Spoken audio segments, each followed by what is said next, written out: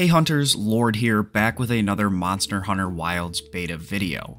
In Monster Hunter Wilds, all 14 weapon types have gone through some pretty substantial moveset changes. However, they do still retain the core of what makes them each unique, but the movesets and attacks differ quite a bit from the more recent Monster Hunter games. That's why in this video I'm going to cover the new Charge Blade moves, combos, and the general playstyle theory that we have so far in Monster Hunter Wilds. As a small disclaimer, this is not going to be a full Charge Blade tutorial as I won't be covering all the basics and every single move and every single combo, but I will mostly be talking about the new moves, the new ways that combos have been worked and reworked, and the best playstyle we have this far. Let's go ahead and get straight into it.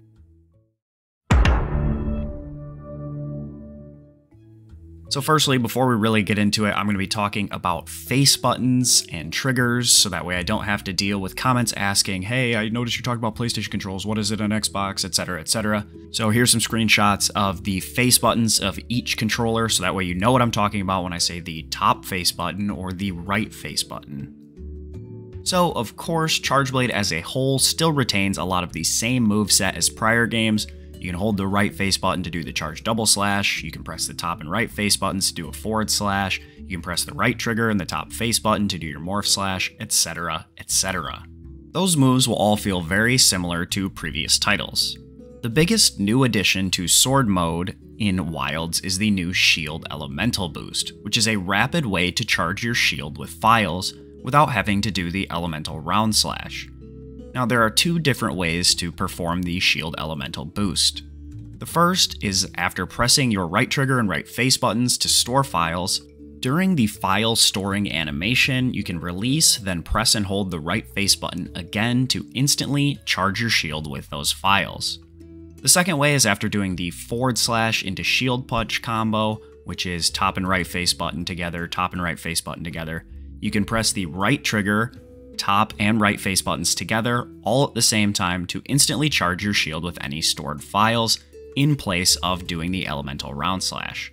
The reason you'll want to do this instead of the elemental round slash is that the shield elemental boost also is a guard point as you can see by the flashing white aura around the weapon when the shield is in front of the player. Now let's talk briefly about guard points. They overall remain pretty much the same from previous games, I would say it's even easier to tell when a move does work as a guard point, as, like you just saw, your shield flashes with a white light whenever the guard point window is active. If you want to learn more about guard pointing for Charge Blade in Monster Hunter Wilds, you can check out the video in the top right now, or link down in the pinned comment. The biggest change to Chargeblade, in my opinion, from, say, the world version of Chargeblade, is how you achieve your Savage Axe and how to get to your Super Amped Element Discharge, also known as an SAED. There are three ways to get to Savage Axe in Monster Hunter Wilds. The first is after performing a perfect guard, you can press your top face button to do a Savage Axe slash. The second is after landing a focus strike on a wounded part, You'll go into a pizza cutter attack that will activate Savage Axe.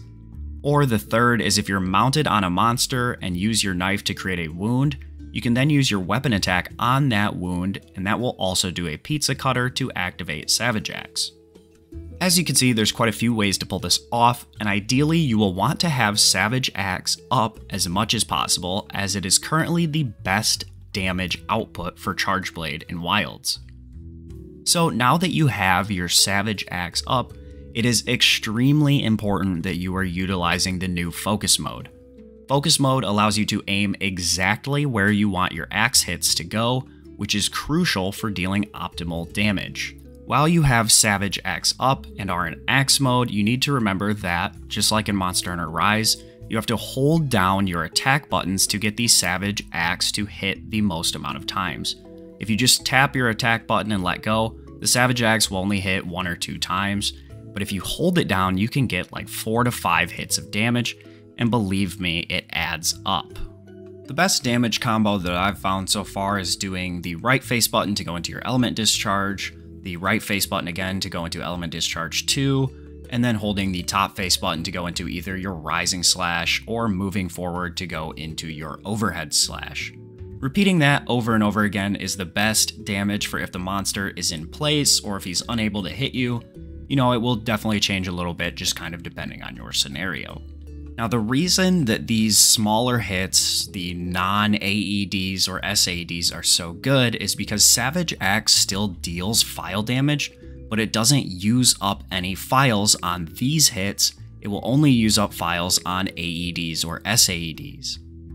Now, speaking of SAED, you can actually no longer just go straight into your SAED from Sorter X mode.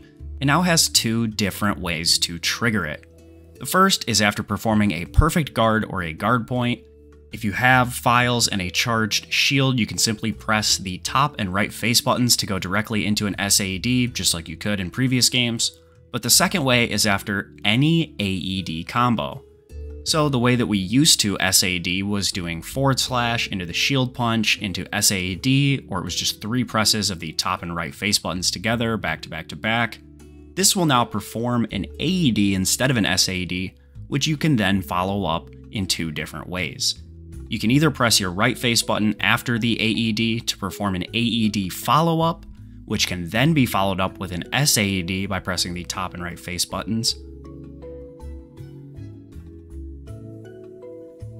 Or after that first AED, you can skip the second step and just press the top and right face buttons together to go directly into your super amped element discharge. Now, because of the way that SAED has been kind of hidden in these combos or stuck behind perfect guarding and guard points, SAED playstyle is not going to be as prevalent as it was in World and Rise, but it is still usable. I spent a lot of my first four or so hours during the beta using only SAED playstyle, and it wasn't bad at all. Savage Axe, however, seems to be the clear-cut damage king as of this video, so if you're looking to play optimal Charge Blade in Monster Hunter Wilds, then Savage Axe is going to be the way to go.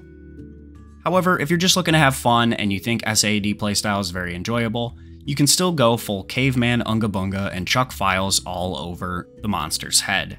It's a game, and you should play it in the way that you find the most fun. Don't feel like you have to confine yourself to the meta or the highest damage. If you like a playstyle, play that way. It's your game, you enjoy it. So that's going to do it for this Charge Blade refresher here in Monster Hunter Wilds. If you found the video helpful, please do consider giving it a thumbs up to help YouTube know to recommend it to other hunters. If you're new to my channel, new to Monster Hunter, or if you want to see more content just like this, then be sure to subscribe to my channel. We're getting so close to 20,000 subscribers before the end of the year, and I'd love to have you on board. Remember that this channel is going to be one of the best places to find sets, guides, tutorials, and much, much more Monster Hunter content when Wilds releases in February, and the best way to make sure you never miss an upload is, of course, to be subscribed.